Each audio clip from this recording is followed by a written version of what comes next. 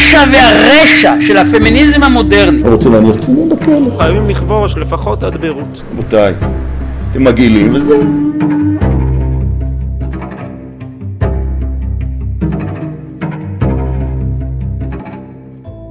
במגילת העצמאות קבעו האבות המייסדים בשנת תרנ"ז 1897 נתכנס הקונגרס הציוני והכריז על זכות העם היהודי לתקומה לאומית בארצו. זכות זו הוכרה בהצהרת בלפור ויושרה במנדט מטעם חבר הלאומים אשר נתן במיוחד תוקף בינלאומי לקשר ההיסטורי שבין העם היהודי לבין ארץ ישראל ולזכות העם היהודי להקים מחדש את ביתו הלאומי.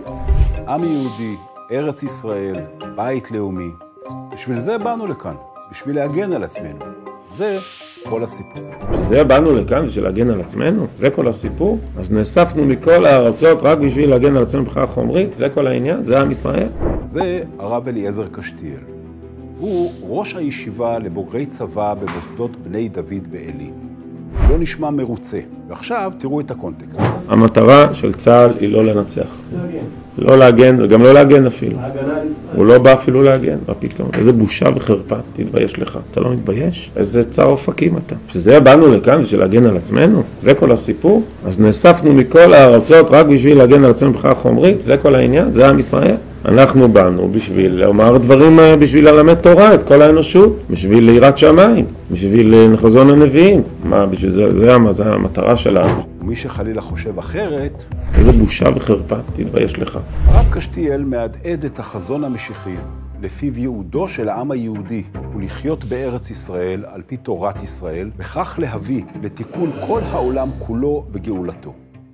אז מיהו בעצם הזרם המשיחי?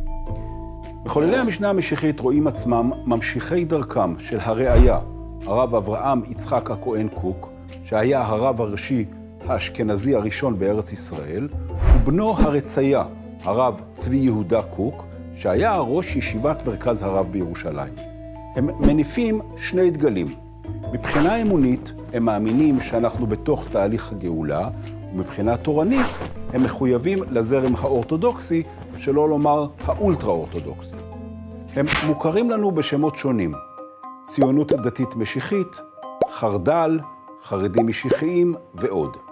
אני סבור שההגדרה חסידות הרב קוק מדייקת יותר את המציאות, גם בשל הפרקטיקה הדתית וגם בשל היחס לראייה שמזכיר את זה ששמור לאדמו"רים בחצרות חסידים. כיום פועל הזרם בשני מחנות מרכזיים.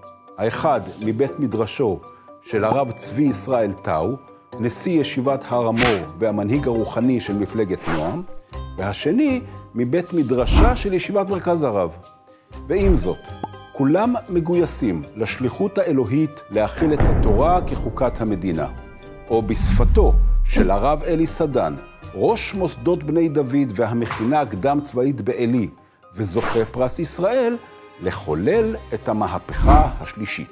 אני נוהג לומר שהיו שלוש מהפכות. המהפכה הראשונה זה הרב קוק הוריד תורה משמיים לארץ. המהפכה השנייה עשה הרב צבי שהוא העמיד דור של תלמידי חכמים שחיים על פי משנתו של הרב. המהפכה השלישית זה להוציא את המשנה הזאת לחיים. לשיטת אלקנה, לרבבות צעירים שחיים שהמשנה הזאת היא נר לרגליהם. אז הראיה קיבל תורה משמיים, ומסרה לבנו הרציה. והרציה מסרה למחוללי המשנה המשיחית. ומחוללי המשנה המשיחית מחדירים אותה לכל איבריה ונימיה של החברה הישראלית. והם עושים זאת באמצעות שיטת אלקנה. הם משתלטים על מוקדי כוח בחברה הישראלית, בדגש על כלכלה, משפט ותקשורת, ובד בבד מרבקקים את הציבור היהודי בישראל. מרבקקים מלשון לרבקק, ביטוי שגזרתי משמו של הראייה, הרב קוק, כדי להגדיר ניסיון של הדתה משיחית, כזה שעושה שימוש במסורת היהודית כדי לקדם את החזון הגאולי. למשל, להתפלל בהפרדה בלב עיר ליברלית כאמצעי לכיבוש המרחב הציבורי. וכך, הם מרבקקים את הציבור היהודי בישראל, בין היתר באמצעות גרעינים תורניים, והכל כדי ליצור רוב יהודי שיתמוך בהחלת התורה על המדינה בדרכים דמוקרטיות, ולמצער, שיתמוך בריסוק ערכיה הליברליים של המדינה. הם מחוללים את המהפכה השלישית, בשמה הליברלית, הפיכה משטרית. כדי להבין איך נראית המציאות הישראלית בעיניהם של מחוללי המשנה המשיחית, חשוב לעמוד על שלושה מושגי יסוד שמשותפת להם האמונה, כי לגאולה שני שלבים, חומרי ורוחני. משיח בן יוסף ומשיח בן דוד. המסורת מדברת על שני משיחים שיגאלו את ישראל. ראשון יבוא משיח בן יוסף, שהוא המשיח החומרי, זה שיקים את התשתית הפיזית של הגאולה. אחריו יבוא משיח בן דוד, שהוא המשיח הרוחני, והוא יקדש את החומר.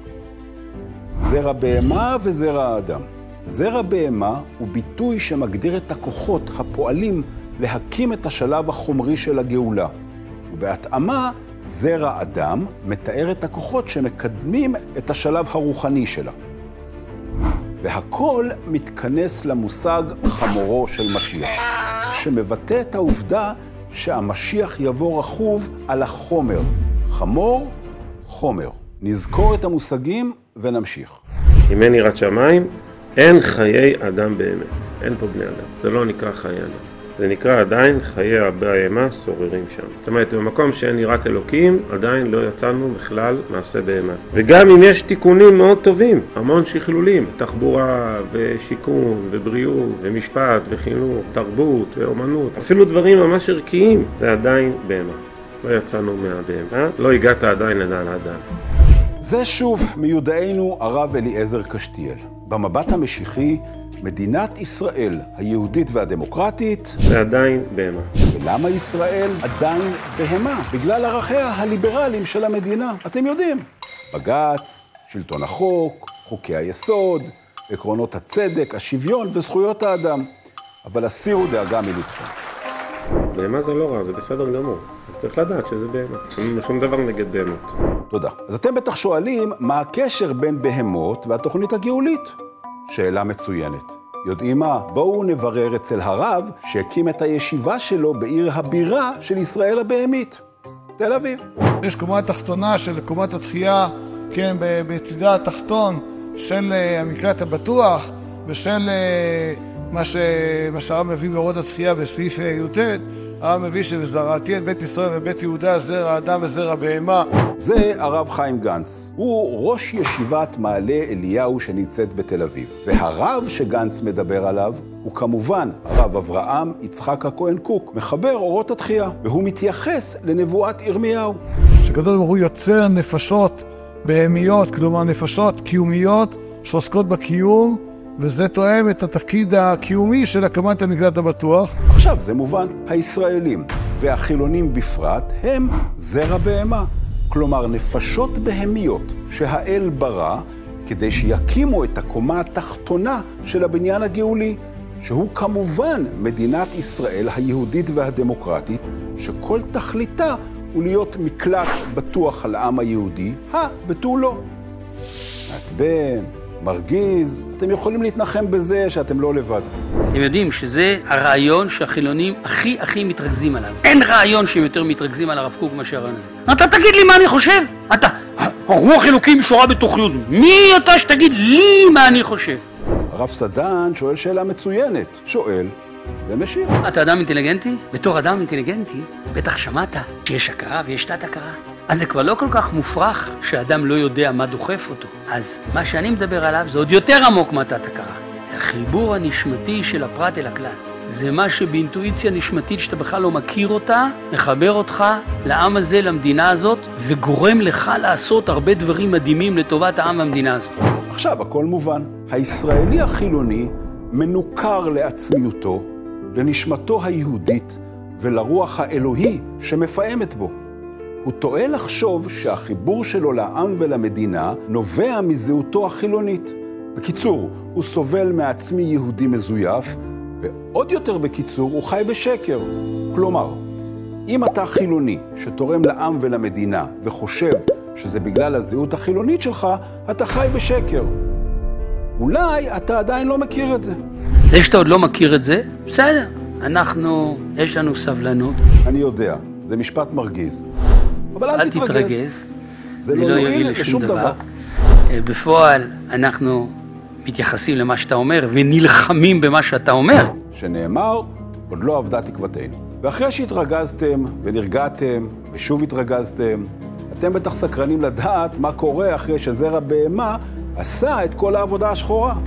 ואחר כך הקדוש ברוך הוא יוצר בנו גם זרע אדם, יוצר בנו נפשות כאלה שהן תואמות את הקומה הבאה, את הקומה העליונה, את הקומה הרוחנית, שהיא קומת אדם, שזה בעצם התפקיד של זרע אדם, של תלמידי החכמים, של חברים שיושבים כאן, והנה סגרנו את המעגל הגאולי. זרע בהמה, כלומר הישראלים והחילונים בפרט, בנו את הקומה התחתונה, כלומר את מדינת ישראל הליברלית, כדי שזרע האדם, כלומר תלמידי החכמים שיושבים כאן, יוכלו לבנות את הקומה הבאה ולחבר את התורה למדינה. ואחרי שהגענו למקלט הבטוח, ממילא מתחילה תנועת התפרקות, ולכן אותו זרע בהמה, אותה תנועה היא ממשיכה אחר כך, היא בעצמה הופכת להיות תנועת חנק, שבעצם גורמת לכרסום בדברים הבסיסיים ביותר. אז זכותי כאן כתל אביב ולהגיד, אנחנו, המאבק שלנו הוא על ישראל בכלל. האם ישראל זה סתם חבורת אוכלי פלאפל? אורו אחים אורו, הגאולה דוחקת. זרע בהמה שהקים את המקלט הבטוח, הפך מחמורו של משיח לאבן ריחיים על צווארו. בכל יום שעובר הוא מעמיק ומשריש את ערכיו הליברליים ומעכב שבעתיים את חזון החלת התורה על אדמת הקודש. נסכם. מנקודת המבט המשיחית, התנועה הציונית החילונית, שגאלה את הקרקעות, ייבשה את הביצות, הלבישה דיונות של חול בשלמת בטון ומלט ובמרבדי גנים, כמו שכתב המשורר נתן אלתרמן, במדינת ישראל היהודית והדמוקרטית, שמושתתת על ערכי הצדק, השוויון וזכויות האדם, ושהקימה חקלאות פורחת, צבא חזק, מערכת בריאות מתקדמת, והפכה למעצמת הייטק, כל אלה כולם אינם אלא כלים שמטרתם לבנות תשתית מוסדית, כלכלית, ביטחונית, שתגשים את חזון הנהגת הקודש של משיח בן דוד. בשפה המשיחית יש כלים ואחר כך מאירים אותם. ומנקודת מבט זו, בכל מבשרי ומחוללי הציונות החילונית, מהחלוצים עד צאצאיהם הרוחניים, הישראלים החילונים בני ימינו, פועמת הרוח האלוהית, והיא הדלק, הסיבה והמסובב שמניע אותם לקחת חלק בבניין העם והארץ, והם כולם בבחינת זרע בהמה ומשיח בן יוסף, וכל יהודם, ולהקים את הקומה החומרית של הגאולה, ולהכשיר את הקרקע לבואו של זרע האדם, שיבנה את הקומה הבאה, ויקדש את החול, ויכיל את חוקת התורה על המדינה. וזה רצונם האמיתי, יהיו כופרים ככל שיהיו. רגע, אבל מתי יגיע המשיח? כמובן, בן דוד, מכיוון שהמתחיל במצווה, אומרים לו גמור, התחלנו עם הרב קשתיאל ונסיים איתו. אומר הרב בהספד בירושלים. הרב הוא כמובן הרב אברהם יצחק הכהן קוק. המספד בירושלים הוא כינוי לנאום שנשא לזכרו של הרצל, שממנו השתמע כי ההנהגה החילונית היא בבחינת משיח בן יוסף. נמשיך. שכשמשיח בן דוד מתעורר, הרוחניות צריכה להתעורר, וזה בהתחלה יהיה על חשבון כל מיני אקסיומות מוחלטות שליוו אותנו המון שנים. אז לא יהיה לנו עוד אה, כלכלה מצוינת. מה זה חשוב? מה שחשוב, שיהיה לנו הרבה ישיבות והרבה, ותפילות ובתי כנסת, ויהיה לנו מוסדות צדקה וחסד, יהיה פה הכי הרבה חינוך, זה, זה הנושא. זה בדיוק הנושא, וזו בדיוק התקופה, ולשם כך בדיוק התכנסנו. כי כשהממשלה מעבירה כסף לישיבות, להתנחלויות ולגרעינים תורניים על חשבון פיתוח כלכלה, מחקר ומדע, אז מחוללי המשנה המשיחית שומעים את פעמיו של משיח בן דוד. והציבור הליברלי, הוא כבר שומע את ידי חורבן הבית.